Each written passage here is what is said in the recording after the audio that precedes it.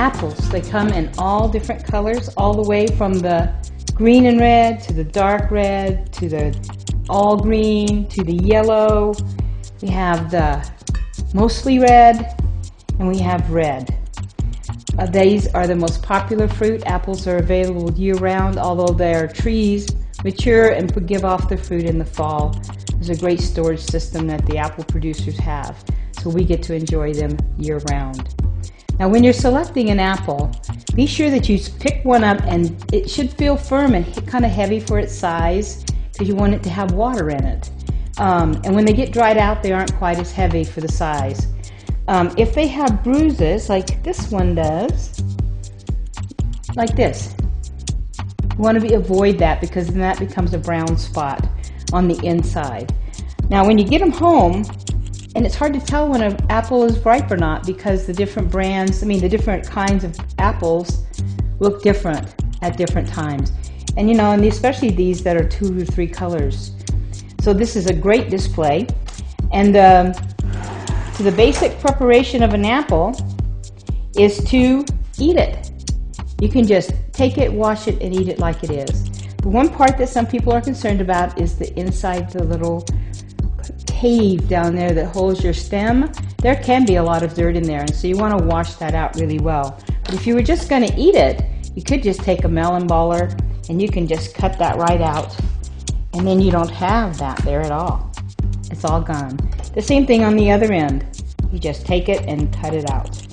This makes it so you don't have to worry if there is anything inside there. Now, the bad thing is, is that this is going to turn brown, so you should only do this when you're going to eat it right away. Some people don't like the peel, and some people do like the peel. Um, you can strip peel it so that um, you don't have peel in every bite. You can just peel it down the side. You can use your potato, your potato peeler to do that. And then that way, when you cut it in half, and you cut it in half again for slices, it's all not every place has it. So when you cut it, you have some that have slices with skin and some that would have slices with some skin. Now, how do you get the core out after you get finished slicing? Well, my favorite thing is in melon baller because it's really easy. It's not really sharp and kids can do it for themselves. Is that you just melon ball them out. It also makes it nice and even cut. Um, some people do it all the way down and with a corer, which is this. You just push it down and then they all pop out. And then the core is taken out in the middle and you don't have your seeds inside. Now, the when you cut the apple the other way, if we cut it down this way, you can see the star inside with the seeds. These are called carpels. There's five of them. They make a star, and each one has one to three seeds inside of it. The you should not eat the seeds. They are slightly poisonous for human beings. Um, they're really not very tasty either, so I think that's a sign that we're not supposed to eat them. But this is a way that a lot of people do not slice the apple, and it is harder to slice that way. Okay, for the other, um, when you're also buying it, you get it home, you can leave it on the shelf and at room temperature until you think it's really ripe. The um, and once they are ripe, you can put them in the refrigerator, and it should be just above 32, so that's in the coldest part of your refrigerator. And when you're putting them in, you can put them in a bag, and then try not to have them touch each other. That way they'll stay freshest longest. But if you have a whole bunch of them, that would be really difficult to do, so just eat them sooner. Um, they keep for about 7 to 10 days in the refrigerator. Now, apples don't come just raw, although that's one of the most popular ways to get it. Um, they have it in cans, apples, have it for apple. They have applesauce. They have the uh, ready for pie filling. We have juice that's in the freezer or it's on the shelf in the, in the bottles.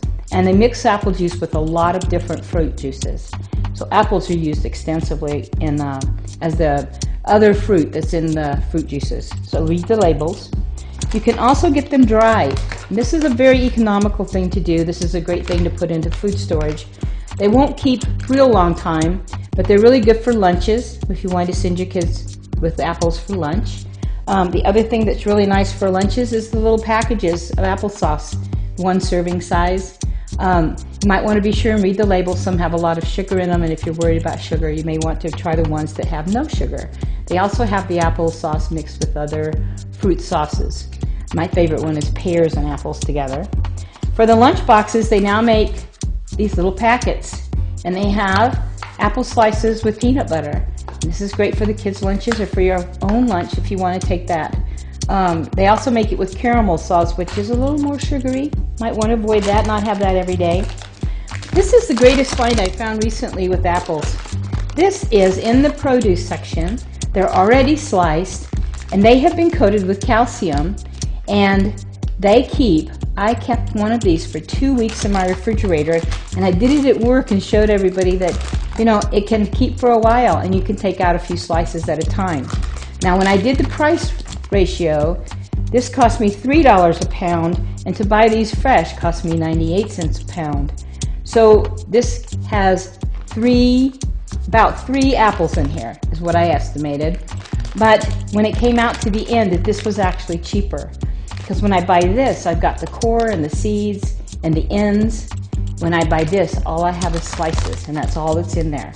So this is not, this is a good bargain actually. But you do have to eat it relatively soon because it's fresh apples. Um, you can also cook with apples. You can bake them. You can put them on your chicken. My favorite thing to do with apples is to put them in my turkey when it's the holidays. Uh, it keeps the inside moist and it has a nice flavor to the meat. Now the one thing when you are going to be cutting up quite a few apples and you're not going to be eating them right away, and it's maybe it's for your salad, um, you need to put it into a, a citrus liquid to keep it from turning brown. So what I usually do is I usually have three cups of water and then I add one cup of lemon juice to that. And then as I slice them, I put them in there. And it's amazing how much of it, how many apples you can do there before you run out of space. The um, you go to my website and you can get a fact sheet about the apples.